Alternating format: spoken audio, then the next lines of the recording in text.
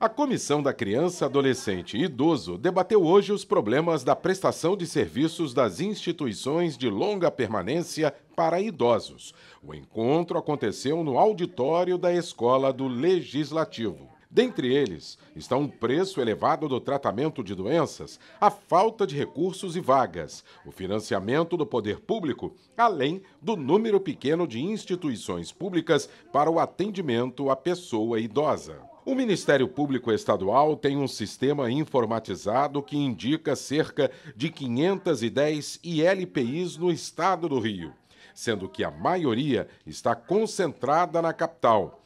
Elas podem ser também privadas, com ou sem fins lucrativos.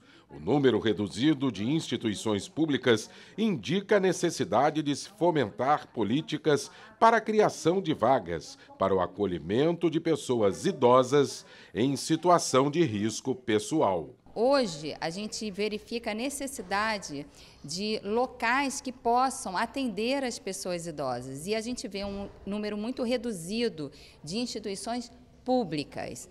E aí eu digo que a necessidade de fomentação de políticas públicas para a criação de vagas, né, instituições públicas, né, vagas que possam atender esse público que não tem condições de arcar com os custos de uma instituição, por exemplo, privada. Quando as políticas públicas são implementadas, muitas vezes não há uma integração entre a saúde, assistência social e a educação o que faz com que o atendimento ao idoso seja inadequado. É, precisamos melhorar essa ligação, essa integração entre assistência, saúde e educação.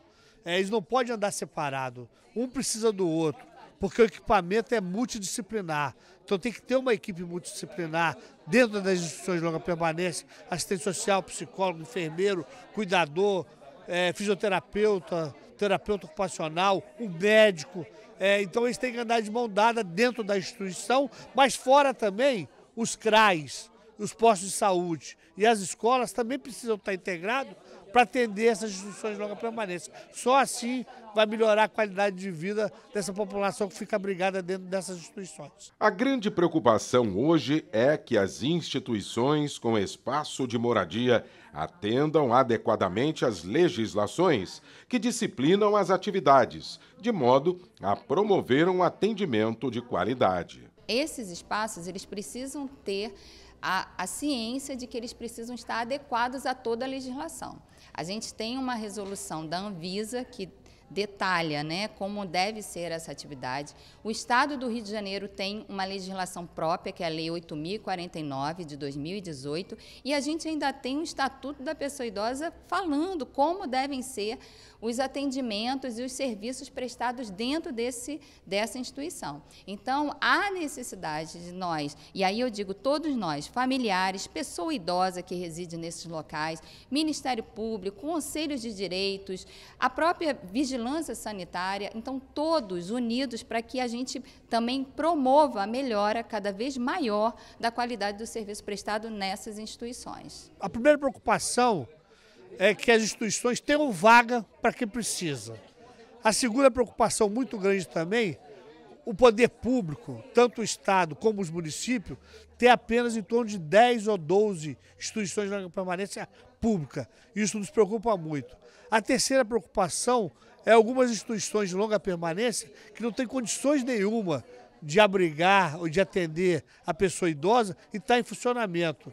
E quando chega a fiscalização e pensa em fechar uma instituição dessa, não tem para onde caminhar os idosos. Isso também é um absurdo que acontece, infelizmente, ainda no estado do Rio de Janeiro e nós precisamos resolver essa questão com a máxima urgência possível. A média de residentes em LPIs é de 30 pessoas, mas é preciso que as instituições públicas sejam eficientes, com toda a infraestrutura, para um atendimento adequado às pessoas. Com certeza, a gente sozinho, a ILPI sozinha, por mais que. E tem muito trabalho muito bem feito, muito sério e cada vez mais, né? E nós somos absolutamente fundamentais para esse ecossistema, mas é um ecossistema. A gente precisa, para esta qualidade do cuidado, que é tão exigido de nós, a gente precisa de uma relação muito forte com a saúde e com a UBS como porta de entrada. Quando se fala em envelhecimento no Brasil, é preciso pensar no futuro.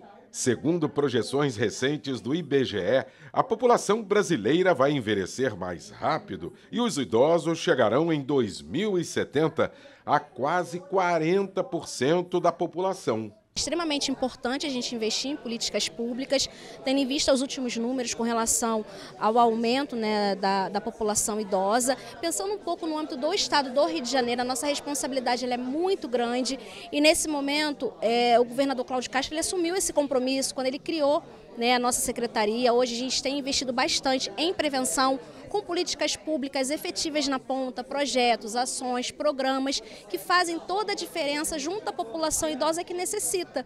Né? Pensando um pouco né, nessa população, principalmente nas vulnerabilidades, a gente tem um cadastro único que traz para a gente né, quem é esse público, quem é esse idoso, quais são as principais vulnerabilidades.